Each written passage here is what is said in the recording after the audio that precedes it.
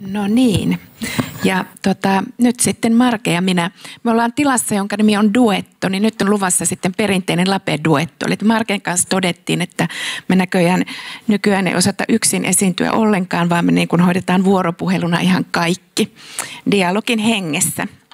Mutta nyt tosiaankin päästään katsomaan kysel- kyselyn tuloksia, joka me tehtiin koulupsykologia kuraattorityöstä viime keväänä. Ja ilmeisesti ensimmäistä kertaa 30 vuoteen. Mun vanhemmat nyt jo eläkkeellä olevat psykologikollegat on kertoneet, että Stakesin aikaan 90-luvun alussa tällainen kysely tehtiin. Mutta tota, me ei tiedetä sen kyselyn tuloksia. Että mulla on sellainen pieni historia-arkisto kaapissa Hakaniemessä, missä on niinku oppilashuollon vanhoja dokumentteja tallessa, niin edes sieltä mä en löytänyt tällaista ilmeisesti Sirpa Taskisen aikanaan tekemää kyselyä. Et sillä ei katsellaan ihan uuden näköisiä tietoja, koska oppilashuoltotoiminta oli ihan erinäköistä 30 vuotta sitten kuin tänään.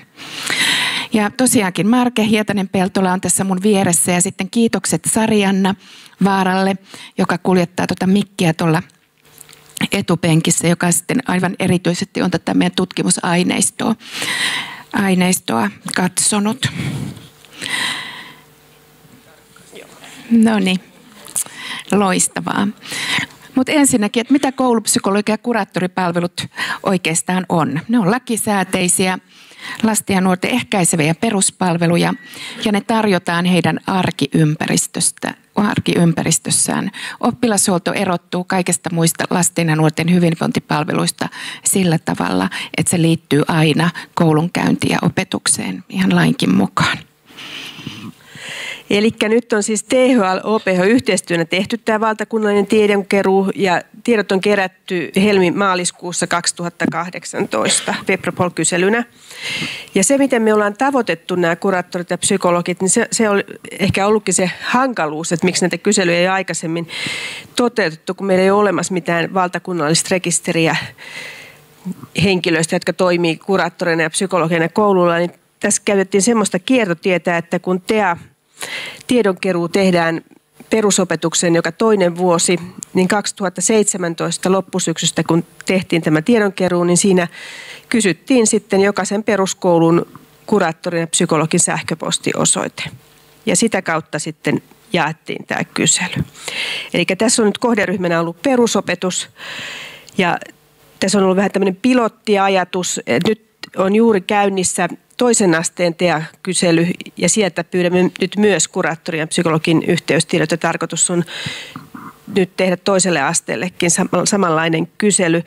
Ja toki meillä on niin kuin jonkinlaisena ajatuksena, että jos tästä voisi tulla joku semmoinen pysyvä määrävälein toistuva kysely, että me voidaan seurata kuraattori ja psykologi toimintaa, sitä työtä ja sen kehittymistä erityisesti nyt näissä kaikissa muutoksissa, mitä palvelujärjestelmässä on tekeillä tällä hetkellä.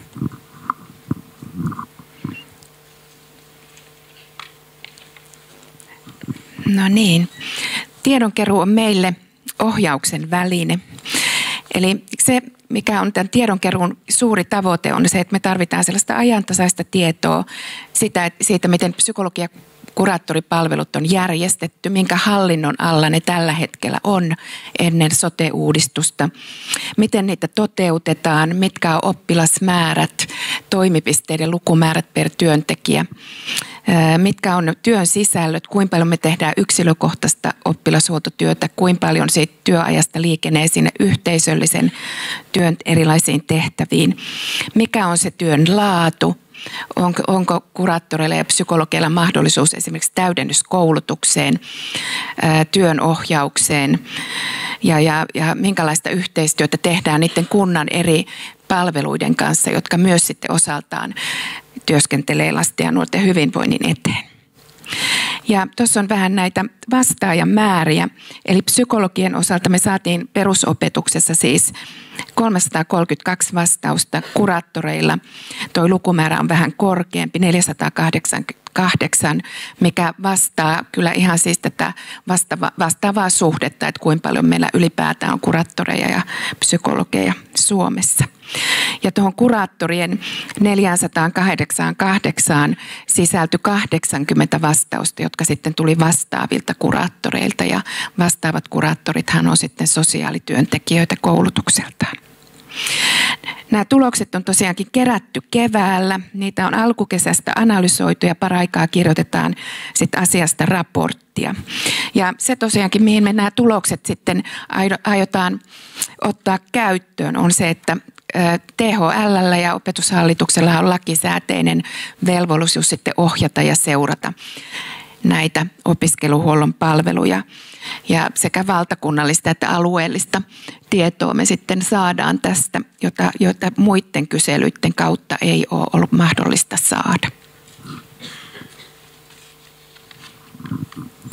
Sitten joitakin alustavia tuloksia nyt tässä kerromme teille lyhyesti. Eli ollaan tiedusteltu näiden palvelujen hallinnollista järjestämistä, että minkä hallintokunnan alla toimitaan ja yleisimmin toimitaan opetustoiminnalla. Psykologeista 66 prosenttia on vastannut näin ja kuraattoreista 70 prosenttia. Et meillä on, on tiedossa se, että tähän sote-uudistukseen liittyen ja lakiluonnoksiin liittyen on alkanut jo tapahtua tämmöistä siirtoa sieltä sote-puolelta opetuspuolelle näissä psykologia- ja kuraattoripalveluissa. Sitten tiedusteltiin oppilasmääriä per työntekijä – ja tässä on, oli, oli niin kuin me ehdotettiin semmoisia eri välejä, oppilasmääriä, kategorioita, mistä he saattoisivat valita, että, että paljon niitä oppilaita heillä on, niin psykologien kohdalla yleisimmin oli valittu tämmöinen oppilasmäärä kuin 900 1100 ja kuraattoreiden kohdalla vähän pienempi 700-900, mutta se hajonta kaiken kaikkiaan on suurta ja siitä kyllä raportoidaan sitten vielä niissä lopullisissa tuloksissa tarkemmin. Sitten oltiin kiinnostuneita siitä, että kuinka monessa eri toimipisteessä nämä työntekijät työskentelee. Ja myös tässä oli valtavaa variaatiota. Et psykologeilla yleisin oli tämmöinen väli kuin 6-10 eri toimipisteessä ja kuraattoreilla 4-5 toimipisteessä. Ja täydennyskoulutuksesta myös kysyttiin viimeisen vuoden aikana, että minkälaista täydennyskoulutusta, kuinka paljon on saanut täydennyskoulutusta sisäistä tai ulkoista täydennyskoulutusta. Ja psykologit on vastannut, että tai molemmat ammattiryhmät itse asiassa on vastannut, että, että 2-4 päivää on viimeisen vuoden aikana täydennyskoulutusta saatu. Ja esimerkiksi psykologeista neljännes vastasi, että 0-1 päivää vuodessa ja se ei varmaan täytä ihan näitä suosituksia. Joo. Klikkaat sä ensimmäistä. Joo. No niin, me tiedusteltiin myös mahdollisuutta työ, säännölliseen työnohjaukseen. Ja psykologeista 89 prosenttia ilmoitti saavansa säännöllistä työnohjausta. Kuraattoreilla tämä luku oli vähän pienempi, eli 71 prosenttia. Työajan jakautuminen eri työmuotoihin oli aika mielenkiintoinen kysymys. Ja nyt kannattaa tämän kysymyksen kohdalla muistaa, että me kysyttiin ei ainoastaan sitä työajan jakautumista yksilökohtaiseen tai yhteisölliseen työhön, mutta myös niin kuin oman työn kehittämiseen, joka pitää sisällään tuon äsken mainitun koulutuksen, täydennyskoulutuksen ja sen työnohjauksen ja sitten ne yhteistyötehtävät, jotka kuuluu sitten palvelu- ja ammattilaisten tehtäviin.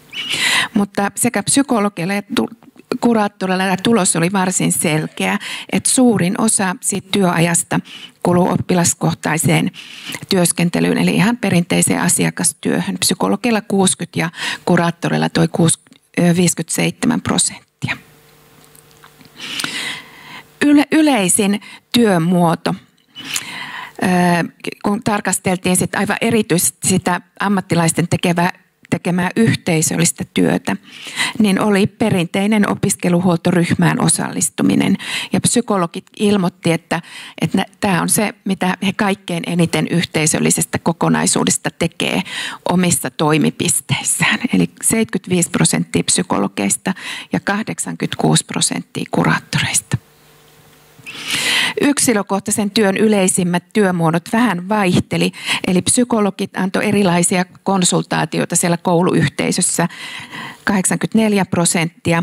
Ja sitten pedagogisen tuen järjestäminen oli se toiseksi yleisin yksilökohtainen työskentelytapa ja siihen kului sitten tästä yksilökohtaisesta työstä 82 prosenttia. ai, anteeksi, anteeksi, 82 prosenttia työntekijöistä ilmoitti tämän yleisimmäksi työmuodoksi. Ja kuraattorien kohdalla vastaavat luvut erilaisia konsultaatioita 83 prosenttia ja sitten monialaisen asiantuntijaryhmän työskentelyosallistuminen niin kuraattoreilla oli 77 prosenttia. Eli ihan lopulliset tulokset ja esimerkiksi nämä vaihteluvälit ja muut, mitä tässä viitattiin, niin tulee sitten siihen lopullisiin julkaisuihin. Eli nyt ollaan tekemässä tämmöistä tutkimusta, tutkimuksesta tiiviisti julkaisua THLn julkaisusarjaan erikseen kuraattorityön osalta ja sitten toinen psykologityön osalta ja ne tulee nyt tässä vielä loppuvuoden aikana. Kiitoksia.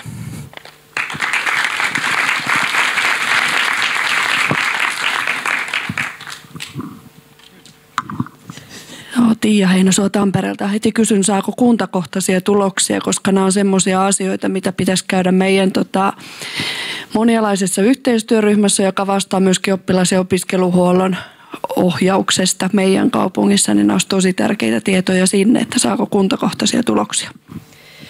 Nyt katson vähän sarjannaa, mutta mä pelkään pahoin, että ei. Nyt, tässä on semmoinen pulma tässä meidän kyselyssä, että, että, että me kerättiin ne yhteystiedot, niin kuin mä kuvasin, niin sen TEA-tiedonkerun kautta. Me saimme nyt sarjana, osaat sä sanoa, että monta kuraattorina, monta psykologin sähköpostiosoitetta meillä oli niin kuin alun perin. Muistan oikein, että oli noin 800, niin, että oli 700-800 niin kummaltakin ammattiryhmältä sähköpostiosoitetta. Ja kun te näitte äsken ne vastaajamäärät, niin ne on noin puolet niistä vastasi. Ja sitten meillä oli vielä niin kuin ikään kuin lupa, anti lupa, että jos, jos joku ei ole saanut niin sitä linkkiä, voi välittää vielä toiselle. Että me ei ihan tarkkaan nyt tiedetä, että kuinka monelle se on mennyt tämä kyselylinkki. Et, et sillä lailla vastaajaprosenttiakaan me ei voida ihan absoluuttisesti nyt niin kuin tietää.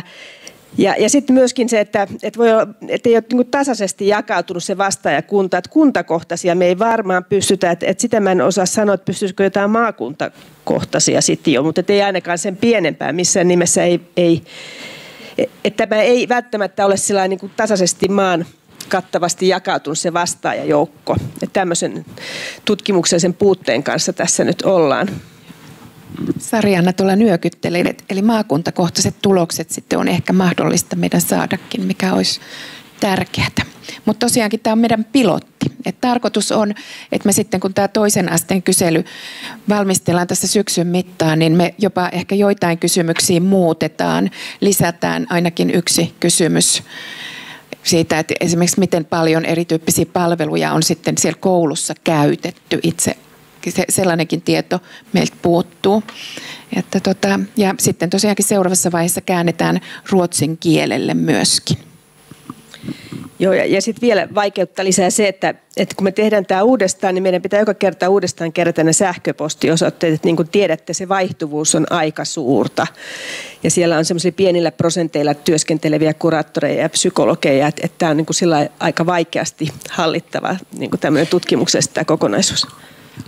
Noin, mutta... Joo. Saanko mä vielä yhden kommentin tästä meidän tutkimuksellisesta vaikeudesta? Oli, yksi liitty siihen, että me oltaisiin kovasti toivottu, että me oltaisiin pystytty tämä kysely lähettämään myös opiskeluhuollon päälliköille, eli kuraattori- ja psykologien esimiehille. Ja se oli ihan mahdoton tehtävä siitä syystä, että heistä ei ole olemassa yhteystietoja. Että tota, me ei tiedetä, ketkä on kunnissa kuraattori- ja psykologitoiminnan tota, esimiehiä, ne voi olla rehtoreita, ne voi olla ylilääkäreitä, ne voi olla tota, sosiaalijohtajia, opetuspäälliköitä. Et tota, variaatio on valtava ja me ei sitä kohderyhmää tavoiteta. Ja jos meillä ne olisi, niin me varmaan ehkä kysyttäisiin esimiehiltäkin sitten vähän erilaisia kysymyksiä, mikä olisi tärkeää tietoa.